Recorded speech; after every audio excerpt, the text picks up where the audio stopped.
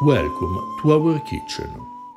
Today we prepare medieval stew with rutabaga and pork belly from Anonimo Toscanos Libro della Cucina, written in the 14th century. We start with ingredients.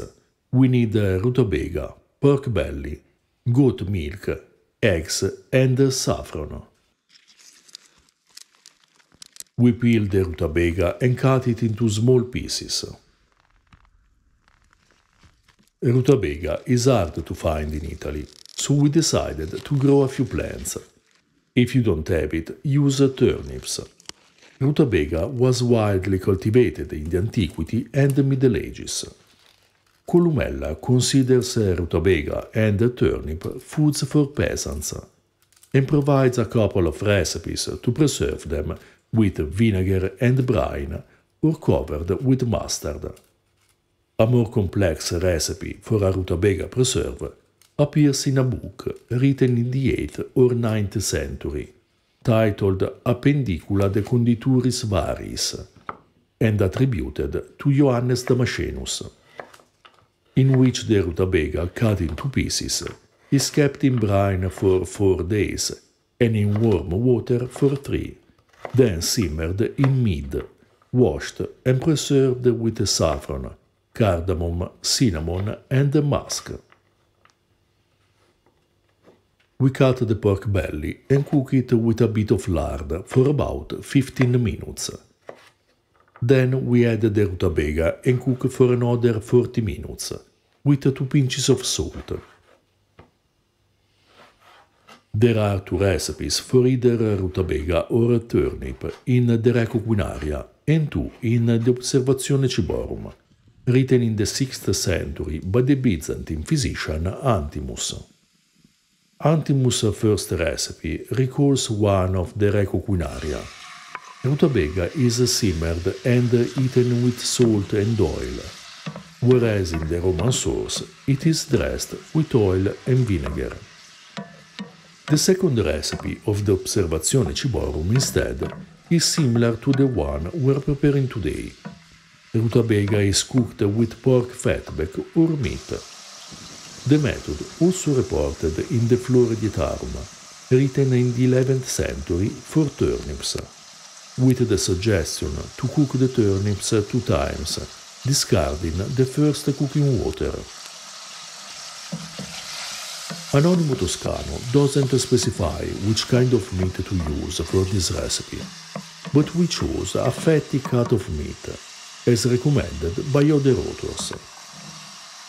For this recipe, use pork, mutton or beef to taste. The recipe actually is just a list of ingredients, which includes eggs and saffron to color the tubers yellow, meat and goat milk. We may interpret this recipe in many ways, adding minced meat to the cooked rutabaga or just eggs, beaten or hard-boiled and cut in half. Milk is optional. However, cooking rutabaga with meat seems the most traditional option according to medieval dietetics. To know more about the source of this recipe, read our new book, Libro della Cucina Medieval Tuscan Recipes, which includes an introduction, notes, and a glossary of medieval Tuscan vernacular. On our Patreon page, you find articles and translations of ancient and medieval sources, among which the first nine books of the Reco Quinaria, Appendicula de Condituris Variis, and the Flore Dietarum. Meanwhile, we beat one egg, adding a bit of milk and the saffron diluted with warm broth. Then we pour the mixture in the pan and cook for two or three minutes. For more books on medieval cooking, check out the Observazione Ciborum Early Medieval Recipes at the Court of the Franks and Registrum Coquine, a medieval cookbook. For more information about ancient food, read Ancient Roman Cooking. If you are interested in vegetables in historical cuisine, read Early Italian Recipes, Vegetables, Fruit, Herbs and Flowers.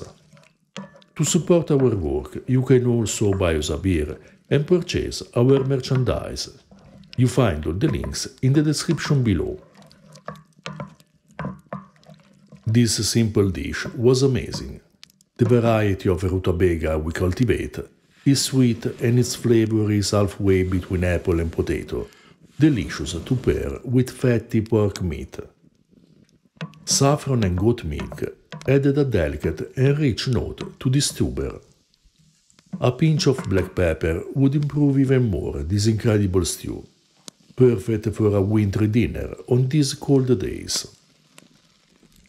If you're interested in ancient foods and flavors, subscribe our channel and consider supporting us on Patreon.